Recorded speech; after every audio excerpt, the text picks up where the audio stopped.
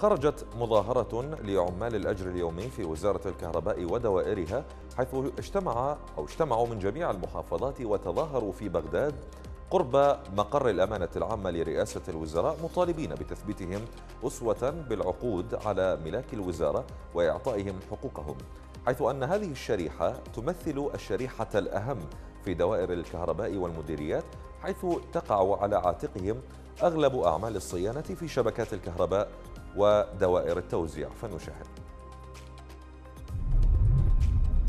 أهلا وسهلا. تجري الآن تظاهرة مركزية باسم أجور اليوميين في وزارة الكهرباء.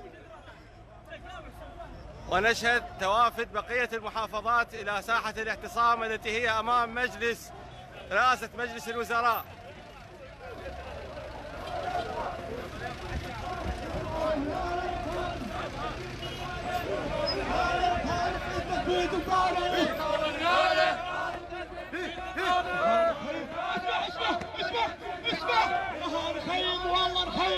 اسمع والله نخيم وحتى دخلهم دخلهم والله نخيم حتى يثبتونا نخيم والله نخيم حتى يثبتونا نخيم والله نخيم حتى يثبتونا نخيم والله نخيم حتى يثبتونا نخيم والله نخيم حتى يثبتونا نخيم والله نخيم حتى يثبتونا نخيم والله نخيم حتى يثبتونا نخيم والله نخيم نعم نعم للتثبيت كنا كنا للتثبيت